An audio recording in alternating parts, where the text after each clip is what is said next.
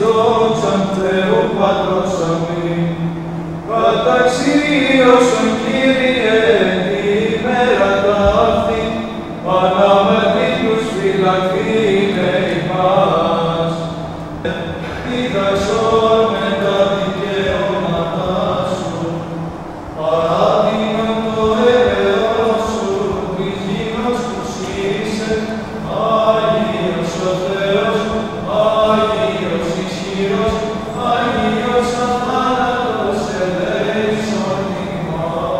Φέτος η γιορτή του προστάτη της πολεμικής μας αεροπορίας Αρχαγγέλου Μιχαήλ συμπίπτει με τη συμπλήρωση ενός αιώνα από την έναρξη των Βαλκανικών πολέμων κατά τη διάρκεια των οποίων πραγματοποιήθηκε η πρώτη πολεμική αποστολή με στρατιωτικό αεροσκάφος στην Ελλάδα από τον υπολογαγό Δημήτριο Καμπέρο καθώς και η παγκοσμίως πρώτη αποστολή προσβολής ναυτικής δύναμης από τον υπολογαγό Μιχαήλ Μουτούση και τον αντιποπλίαρχο Αριστοτέλη Μωραϊτή.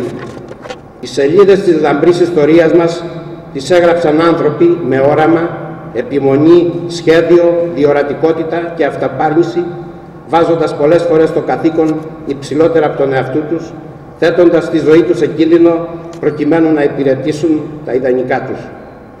Χρόνια πολλά σε όλους. Ζήτω η πολεμική αεροπορία.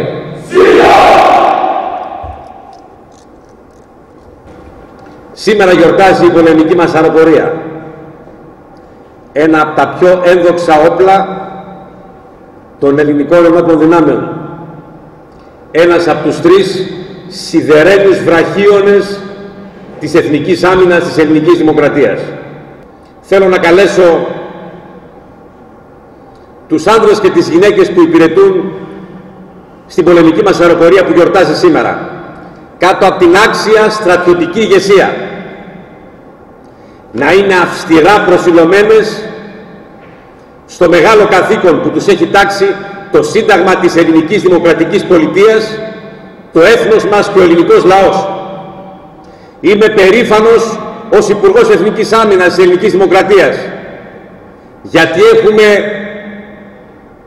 τις καλύτερες ένοπλες δυνάμεις.